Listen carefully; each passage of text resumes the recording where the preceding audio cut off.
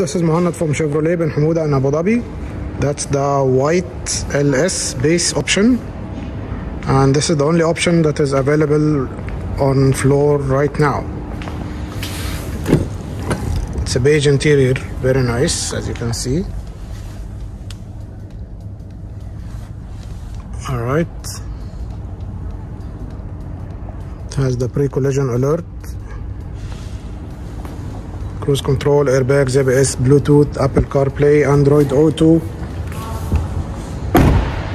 This is the petrol consumption.